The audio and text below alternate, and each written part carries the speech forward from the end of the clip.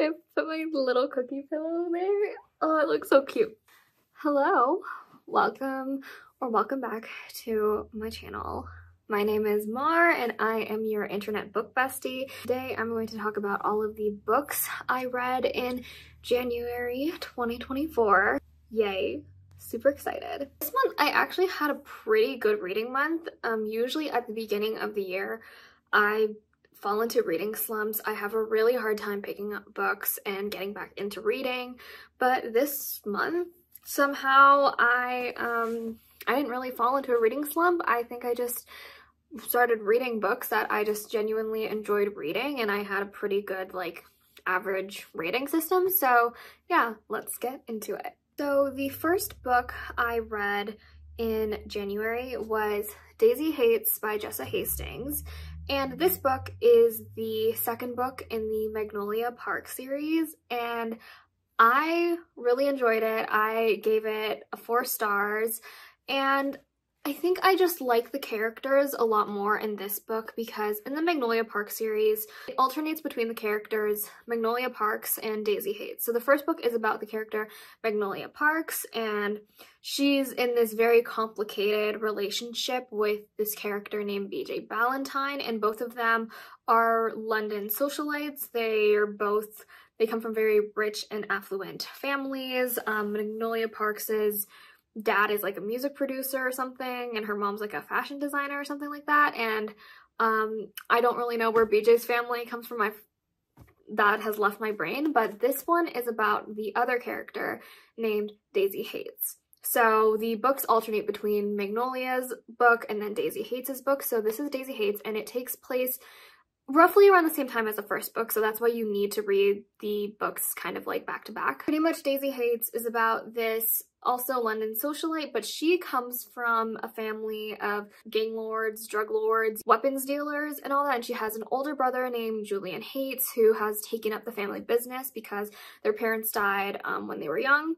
And so she's kind of stuck in that sort of world. She's in the sort of similar circles to Magnolia Parks, and there's also point of view of the love interest, which is Christian Hems or Hemes. He's he was also in the first book of Magnolia Park, so that's sort of where the crossover happens. I just really like Daisy as a character compared to Magnolia. They're both very different characters. They're both very strong female characters, but at the same time, I think I just like Daisy because she's very sarcastic. She's very no nonsense. She she's very smart as well and like in her chapters there are like little subscripts like you know these subscripts you put in like research papers which I thought was a really cute detail and fun touch. Just overall it's like these are very character driven novels. There's some plot to it for sure like there are situations the characters get into that really can't be avoided and you know cause like a lot of drama. So if you really like following characters that have a lot of drama and like causing a lot of drama, then I think this is the book series for you. A lot of the relationships that are in this book series as well,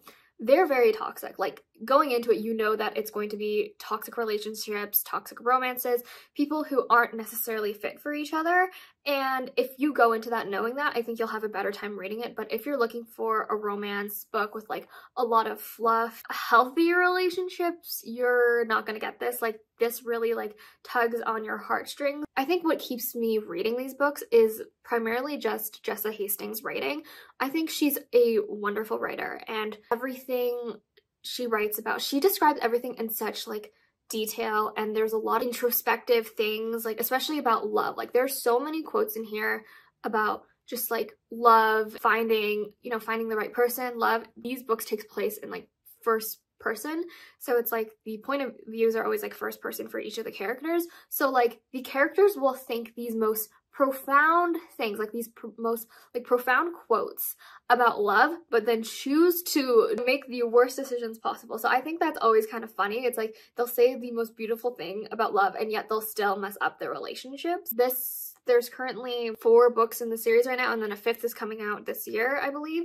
So um, I'm super excited for that. I just started reading the third book and I only read the first chapter so I haven't gotten far yet, but Um, overall, I really like Daisy Haites, and I see why people like this series, but also I see why people don't like the series as well. I would suggest read the first Magnolia Parks, and if you don't like that, you'll probably you probably won't like Daisy Haites. The next book I read was Wildfire by Hannah Grace, and this is the second book in the Maple Hill series. So the first book is Icebreaker, which many people know is like the viral hockey romance. I will be doing an icebreaker video, so, but yeah, personally, I like Wildfire way more than Icebreaker. I would say Icebreaker is more so of a hockey romance because like it emphasizes more that the main guy is a hockey player and it's something he really wants to do and takes place in like this college in California out of all places. It's not necessarily plot based, it's very character based. It's about these hockey players who are all trying to sort of find love at this college. The first book is about Nate and Anastasia, and so it's like a hockey player figure skater romance. This one, it takes place from the point of view of Russ. So Russ is also a hockey player on the same team as Nate at this at this university or this college in California.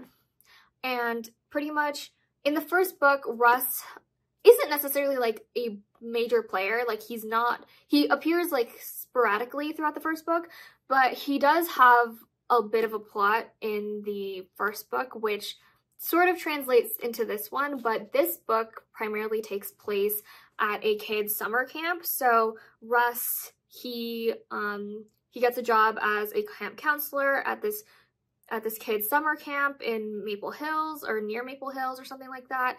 And before this camp even starts, there's like an end of the year party where he meets the love interest, Aurora. So him and Aurora hook up at this party, but then she like leaves and then they just like haven't talked since until they see each other at this summer camp again. Hannah Grace writes a lot of fluffy romances. Like there's definitely like smut and all of that in her books, but I would say this one doesn't have as like as many unhinged smut scenes as Icebreaker because this one because it takes place at a kid's summer camp, you know. There's only like so many places where they can like really do anything without getting in trouble. So in this book, they actually like talk a lot because these characters actually know how to communicate with each other. Like it's not a frustrating read. Like if anything, this is a pretty fast read. Like you can get through it and I just like liked it a lot better. I liked Russ as a character. I liked Aurora as a character and I think they're like a really good couple together. And like personally I just really enjoyed reading it. And so um yeah the third book is coming out this summer I think. Fluffy romance. There's golden retrievers in this and all of that. Like I would suggest like you pick up Wildfire or Icebreaker by Hannah Grace. Like it's a pretty they're pretty easy reads. Yeah I think I rated this four stars which is pretty high for me like especially when it comes to romance books. That's Wildfire by Hannah Grace. So after that, I decided to pick up a fantasy novel and I decided to pick up The Wicked King by Holly Black. And this is the second book in the Elfhame series or the Cruel Prince series. So the first book is A Cruel Prince. This is the next book. Um, I did like a I read The Cruel Prince last year and then I ended up doing a reread of it because I decided to annotate a copy for one of my friends for Christmas. So um, The Cruel Prince series was just like fresh in my mind. So I was like, okay, I might as well pick up this book and read the next one.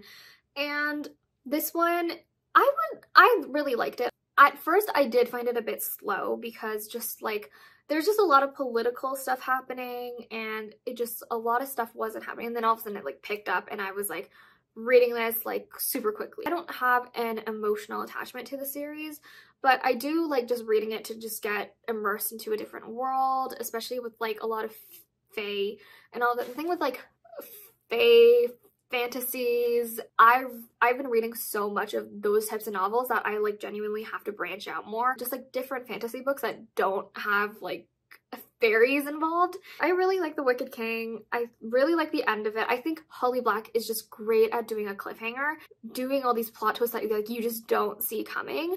I mean, I definitely see why people are like really emotionally attached to this book and like the characters in this book. For me, it's like I like Jude, I like Cardan, I like a lot of the characters and I dislike a lot of the characters in these this books. This book series definitely has like characters that it's like you love to hate and that's what I like about reading about this. Like, It's like you really do like Jude as a character, you like Cardan as a character. Like they're all morally gray and they all make mistakes and they all are double crossing each other. So it's always a fun time reading this book. Um, I hope to get to the last book in the series, so The Queen of Nothing, um, probably next month because I just really don't have any reason to just not finish this book series and I think I'm sort of in a fantasy mood now. So yeah, that's what I have to say about The Wicked King. I don't have too many comments on this one. The next book I read, or this one I listened to on Audible, and it is The Stand-In by Lily Chu and it's narrated by Miss Philippa Soo. If you know Philippa Soo, she's from Hamilton. She played Miss Eliza Schuyler. And I I rated this book a three stars, and if it wasn't narrated by Philippa Soo, I'd probably even rate it lower. Like, I did not like this book, and I'm not saying like it was a bad book or anything. Like, I think it was written fine, and I think the plot was fine. I just think the marketing was not good for it. Like, it was marketed as this like romance book.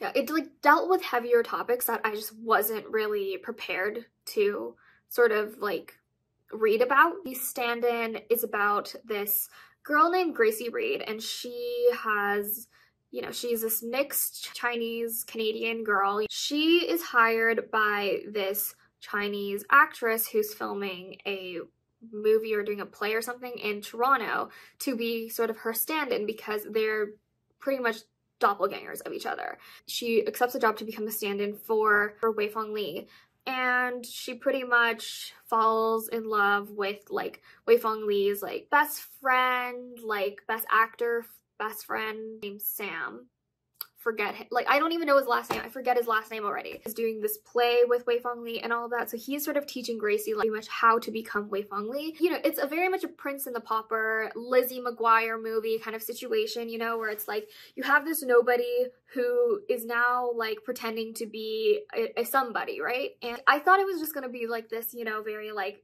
very rom-commy, right? Like, cause that trope is very rom-commy. It's very unserious. You expect kind of like all of these you know, unexpected shenanigans to happen. But no, this book talks about like the mental health of artists and like just mental health like in general like sexual assault sexual harassment in a workplace kind of thing so like all of these different topics that i definitely think should have been disclosed like before even like opening the book and reading the book it's also on me for not doing that research but it's just it was marketed in such a way that it's like I just wasn't expecting to deal for it to deal with that like heavy like those types of heavy topics. And if I knew that it was going to deal with it maybe I would have different thoughts about this book. But I really just thought it was like a romance book. And you know it was about this girl who becomes a somebody dates someone rich you know more of a romantic comedy type of book. But it just wasn't like that in the case. And so I think that's also why my rating is just slow. I it's like a three stars but um at the same time i just don't remember the plot to it to be quite honest like i think that there were so many chapters that were just absolutely unnecessary and the pacing was just so long like it felt so long to listen to. I listened to maybe for the first two hours, I genuinely thought I was already halfway through the novel and it was just like nope you have 10 hours of this novel left. And so yeah it's like i personally just did not really like this book. I think the pacing was just also way too slow. I've read um her other book the comeback which is about like a girl who has to live with like this Korean pop star, but she doesn't know he's a Korean pop star. Like I read that one and that one was definitely a lot better. That one, the plot was actually going somewhere. I like the characters in it as well, so I think that's what made it tolerable. But like the main girl in this book as well, like Gracie, she was just so annoying to me. Like I was like, okay, I understand. Like she's a character that has a lot of flaws and I'm like, I can get past that. I can, it's like, I understand a character with flaws. It's just she did she didn't do that much to like really do anything about it you know? Like it's like she would make the same mistakes over and over again.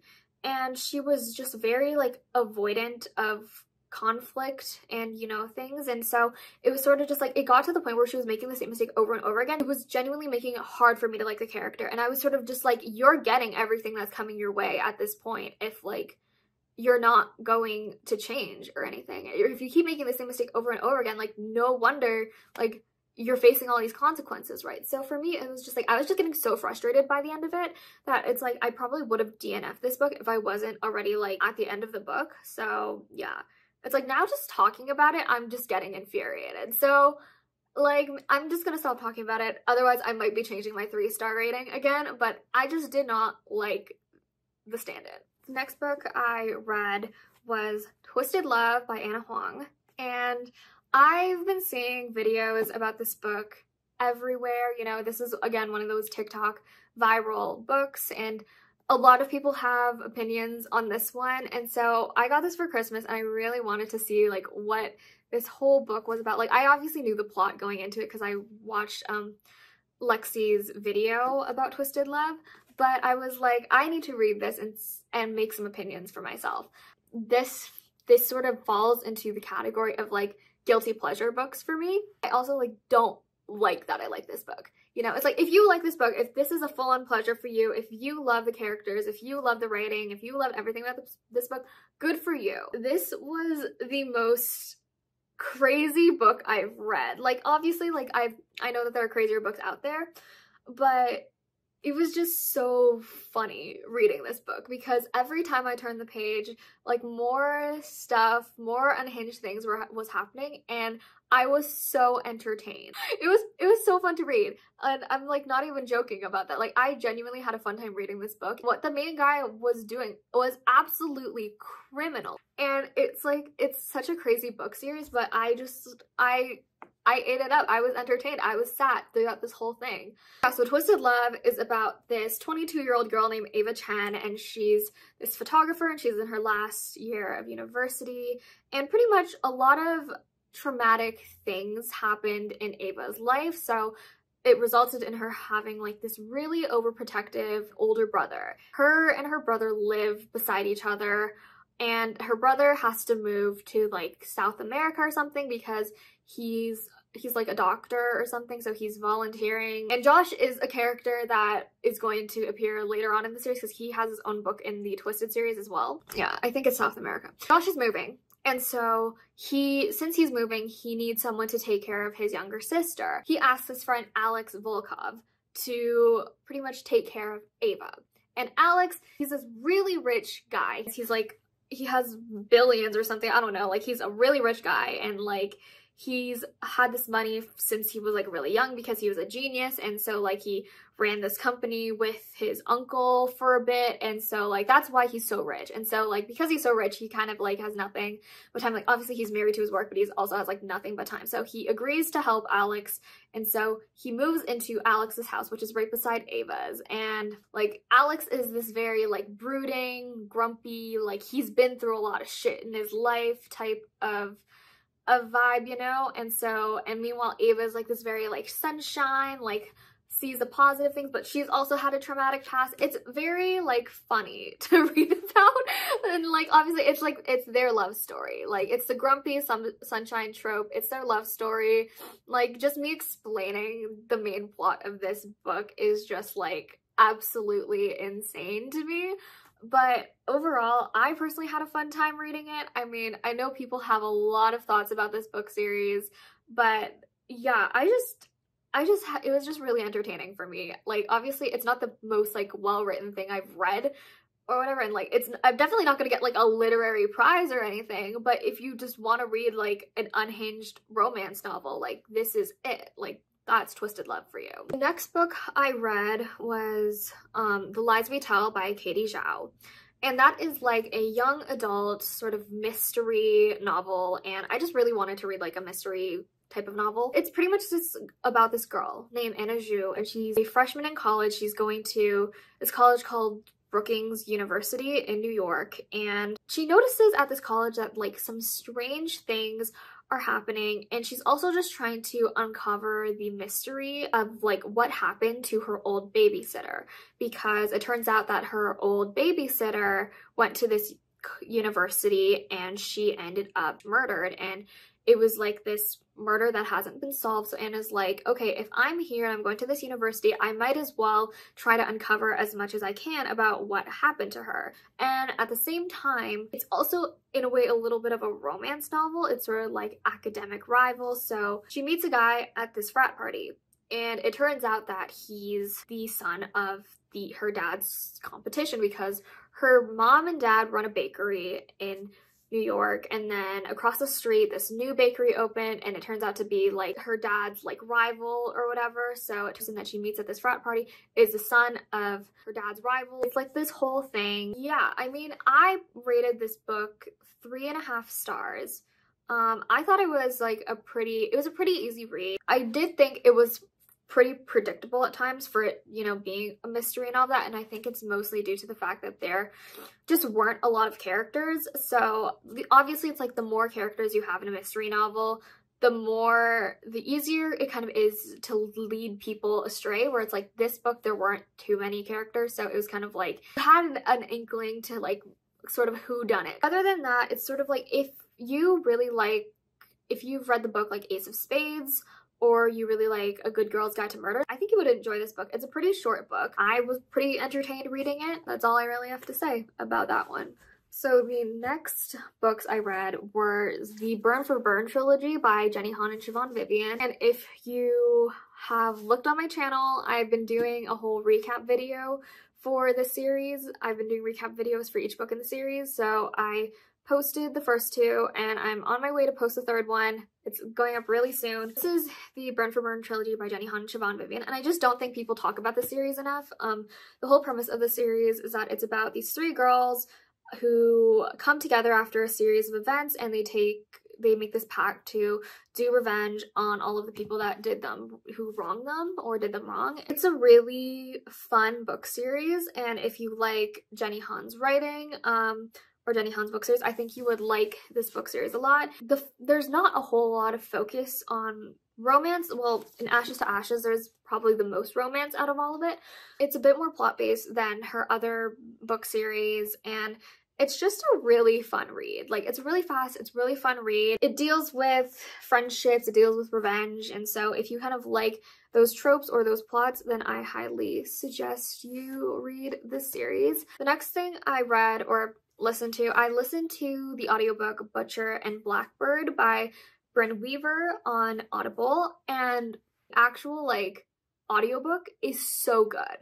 It's so good. Like the voice actors are amazing. And I don't say that a lot when it comes to audiobooks, but no, they have both a male narrator and a female narrator because this book is dual point of view. They don't do the thing that most audiobooks do where it's like if it's from the guy's point of view. The male actor will read pretty much everything in the chapter and he also does the female voices. That doesn't happen in this book series. He only does the male voices and the female actor does all of the female voices. It's like you don't have to hear the male guy do like a high-pitched voice for the female. And like that's one of my pet peeves when it comes to listening to audiobooks is like I do not like it when like the males do the female voices and the females do the male voices. Like I just can't do it. So that's why I like the graphic audio version of the ACOTAR audiobook series from Graphic Audio. So good. Audiobook for Butcher and Blackbird was really good. Um, as for the story, it's pretty much his romance about these two serial K-worders. There's a lot of, you know, banter between them and they pretty much over the years start to get to know each other. They kind of do these yearly trips where they're hunting for, usually they're hunting to K-word a person, um, usually another serial killer. but Like, they're serial K-worders with like morals kind of thing. I think the audiobook saves the actual like book. Like if I think I think if I actually like read the book um like just without the audiobook, I don't think I would have liked it as much. I rated this 3.5 stars um because it just jumps around a lot. It starts there and then it like jumps a year, it jumps a couple months and then it's sort of like it's really easy to get lost, especially if you're listening to it. Like I listened to it and then I had to like bring out the actual like book with me because I had to like I just genuinely didn't know where we were in the plot. I think it was really entertaining listening to audiobook, but as for story wise, like it did fall a bit flat in some places. Personally, it just wasn't for me. And I think like it is a bit darker and it deals with like darker topics. Overall, like I like listening to the audiobook, so like I like the actors, so I'll give it that and I think that's what saved the book for me. And the last book I read this month is Crescent City, House of Flame and Shadow, and you're probably like, what do you mean you read it in January? I read it, I did not stop reading it. I spent the entire January 30th reading this book and I finished it at like 2 a.m. the next day. So, or like the day I'm filming this, I filmed, I finished it at like 2 a.m. this morning.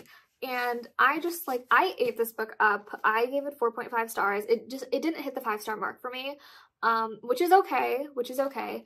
But I personally really like this book. I have a whole video of my review on this book and all that. So if you want to know my thoughts about it with like spoilers and all that, go check that video out. Overall, like, I think it ties up the Crescent City series like really well. And I loved Hunt and Bryce's relationship in this book. I did think that some of the secondary characters, like the B plots, kind of fell short in this book, but that was mostly because like the main plot took up so much time that like we had places to be and things to do that it's like I'm okay I'm willing to overlook it but I definitely don't think this is the end of the Crescent City series like I definitely think Sarah J Maas has more planned and all of that but overall I had a really fun time reading it. I really love the characters. I know some people have mixed reviews on this book. Um, some people really liked it, some people didn't. And personally for me, I really liked it. I thought it was a great sort of wrap up to the series. Criticism, so obviously like if you want to check those out, go watch my other video. But yeah, it's like I ate this book up. It's super thick. It's 800 pages long and I just like did not put it down. I was reading it like, I don't know. I just like fell in love with the characters even more. I fell in love with the world even more. And it's like, I think that's what Sarah J Maas is so good at. It's like once you get sucked into her world, it's kind of hard to like get out of it. And so yeah, I really wasn't expecting to read this so fast either, but I just, like, I couldn't put it down. I just sat there and read and read and read for hours, and then I realized, I was like, oh, I finished the book. Um, I didn't mean to do that in such a short amount of time. But, yeah, that's what happens. Want to see my thoughts? If you want to see me reading it, go check out my other video. But yeah, this was the last book I read this month. Yeah, so that is what I read in January. And if you've read any of these books or anything, I would love to hear your thoughts about them in the comments. Yeah, I'm not really sure what books I'm going to be, I actually know, I know what books I'm going to be reading in February, but I can't say because I don't want to, I don't want to spoil any future videos. So yeah, it's like, thanks for watching this video. If you liked it, subscribe or whatever. Um, my social links are down below. And yeah, thanks for watching and I'll see you guys in my next video. Bye.